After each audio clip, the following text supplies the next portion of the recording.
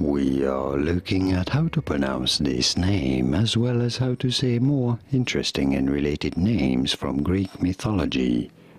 He was the Greek god of love and sex. How do you go about pronouncing his name? Eros. Eros is how it is said in English. Eros. And now you know.